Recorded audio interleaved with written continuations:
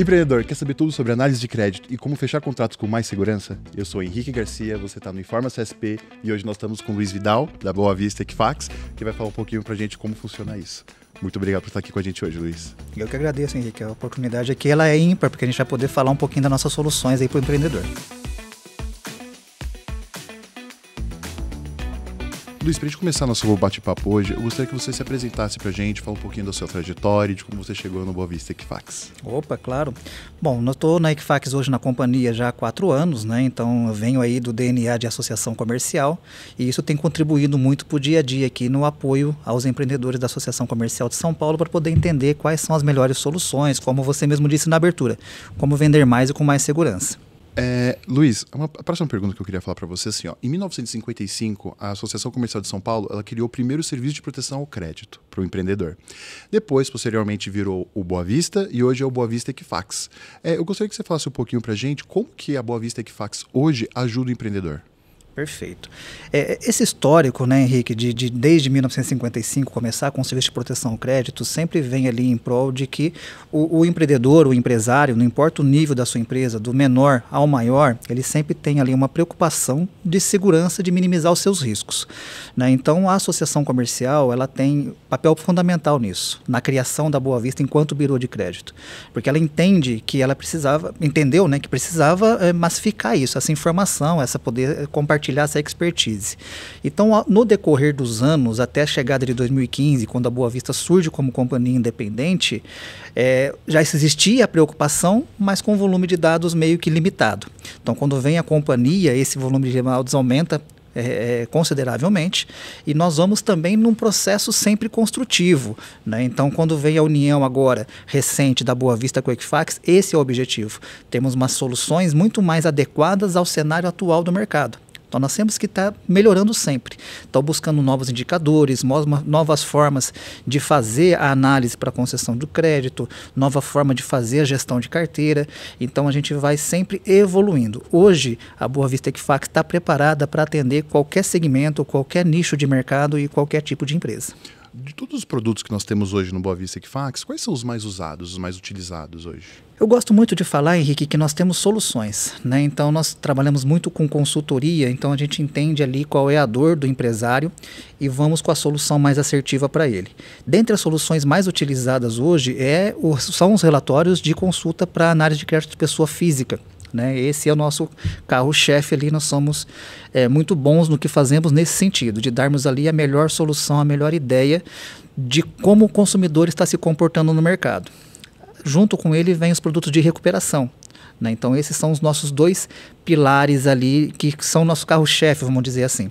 Só que a Boa Vista Equifax é muito mais que isso. Né? O que, que nós temos? Né? Nós temos que entender que uma empresa, ela dentro do seu setor financeiro, setor de crédito e cobrança, ela tem pilares de gestão.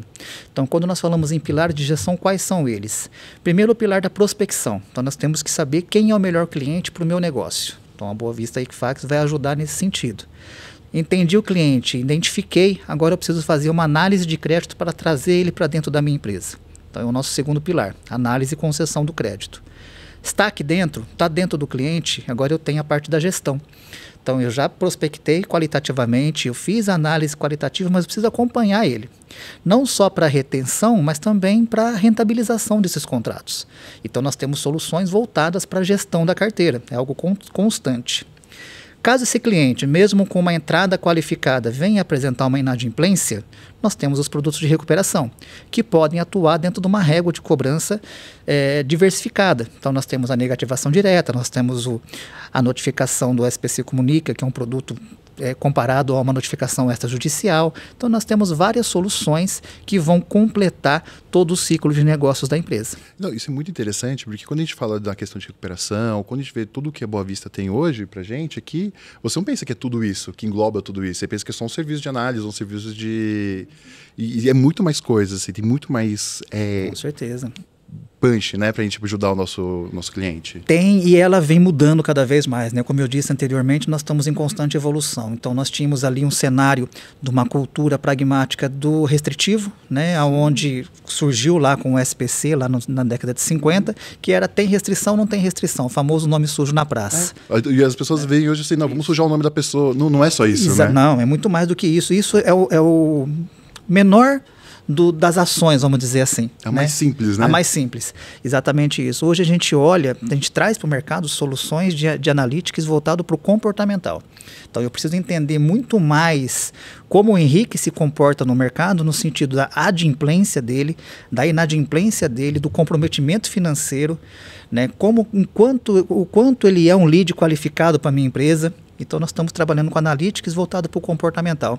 Então, a, a, a, solução hoje é você abrir a mente e mudar esse paradigma do aprovo ou reprovo com base no restritivo e ir para uma aprovação mais qualitativa. Não, e eu, pensando aqui agora, então o cara chegou no balcão, no meu balcão ali, eu vou fazer análise dele, não vou fazer análise dele se ele está com o nome sujo. Eu vou fazer análise de, todo, de todas Isso. as compras que ele fez dele. Exatamente. Então, no começo, se ele compra bem, se ele paga bem, se ele tem tendências a comprar novamente, se ele não compra uma vez só. Qual que é o perfil de crédito dele, né? qual que é o risco dele para o mercado. E eu não estou olhando só uma pessoa, só o CPF que eu estou consultando ali na minha frente. Eu estou olhando uma população X, né, que tem um comportamento semelhante. E dentro daquela população, eu estou identificando qual que é a probabilidade de inadimplência num determinado horizonte.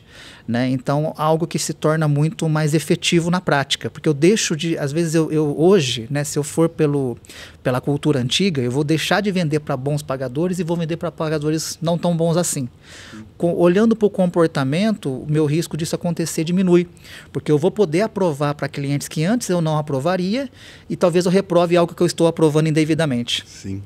Isso é fantástico. Se você olhar para tudo isso, é maravilhoso.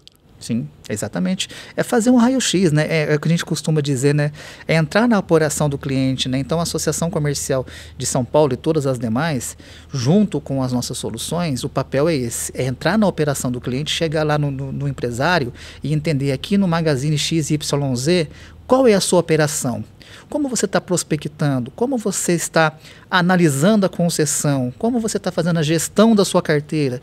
Como você está fazendo a recuperação da sua inadimplência? Você tem dores em qualquer uma dessas etapas? Nós temos a solução. E aí nós vamos criar metodologias de trabalho junto com o cliente e vamos entrar nessa, nessa atuação que é o nosso principal diferencial. Né? É, é o contato humano, o relacionamento. Então nós estamos juntos dentro da operação ali do empreendedor.